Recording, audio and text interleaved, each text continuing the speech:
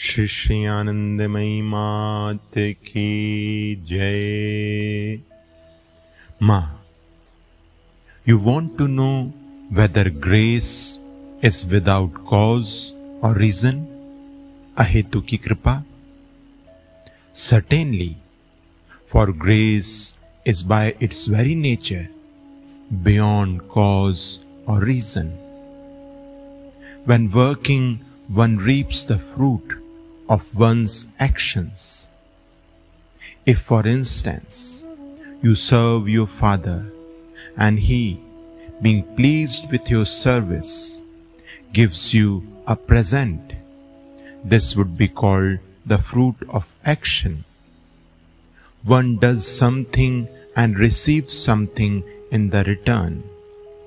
But the eternal relationship that by nature exists between Father and Son does surely not depend on any action.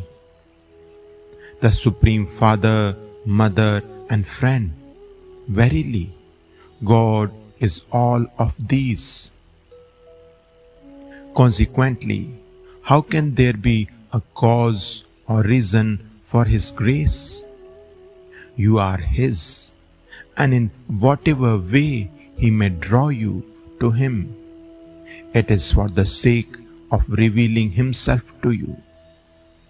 The desire to find Him that awakens in man who has instilled it into you.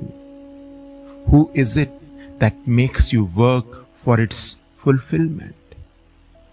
Thus, you should try to arrive at the understanding that everything is given from Him. Whatever power, whatever skill you possess, why even you yourself? From where does everything arise? And does it not all have for purpose the finding of Him, the destroying of the veil of ignorance? Whatever exists has its origin in Him alone. So then, you must try to realize yourself. Are you master even of a single breath?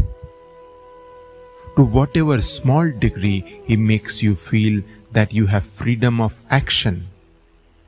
If you understand that this freedom has to be used to aspire after the realization of Him, it will be for your good. But if you regard yourself as the doer and God as being far away, and if, owing to his apparent remoteness, you work for the gratification of your desires, it is wrong action. You should look upon all things as manifestations of Him. When you recognize the existence of God, He will reveal Himself to you as compassionate or gracious or merciful in accordance with your attitude towards Him at the time. Shri Shri Anandamayi मात की जय